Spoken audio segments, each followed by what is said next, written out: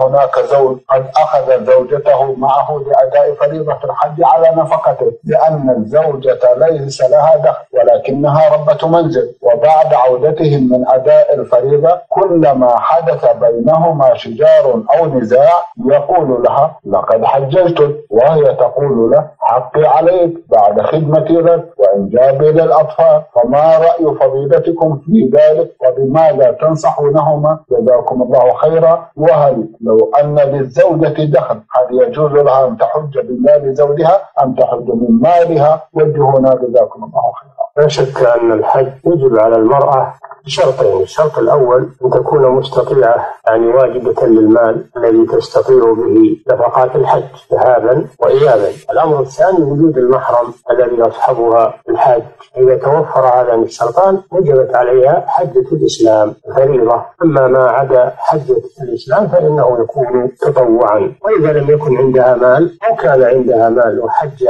بها زوجها هذا تفضل منه. لا يجب عليه أن يحج بها أو أن ينفق عليها في الحج وإنما هذا تفضل منه جزاه الله خيرا. ولكن لا يجوز له أن يتمنن عليها بعد ذلك ويخجلها في كل مناسبة لأنها لا يبطل ثوابه.